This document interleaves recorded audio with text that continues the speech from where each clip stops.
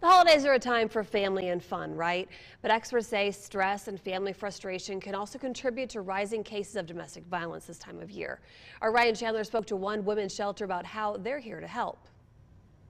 Well, Lauren, the Women's Protective Services of Lubbock provides food, shelter, and legal aid to women who say they need a safe place to stay. And they say they often see calls for help double around this holiday season. Nobody quite knows why, but they do know one of the most important steps that you can take for help is to just reach out and ask. During the holidays, it's supposed to be a time for for you know getting together, sharing, you know, loving family stuff like that. For some for some of us, it's not. It's a season of cheer, but for women in abusive homes, it often brings fear.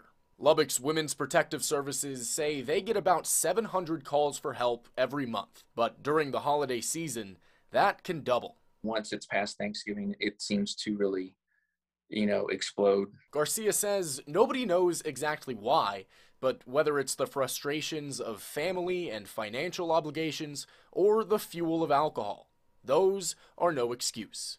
Frustration and anger are emotions.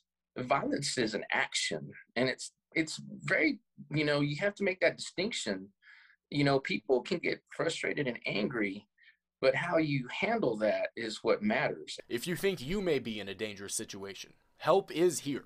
They say the most important step is to ask. There are alternatives. You don't have to suffer in silence. You don't have to spend this holiday in fear.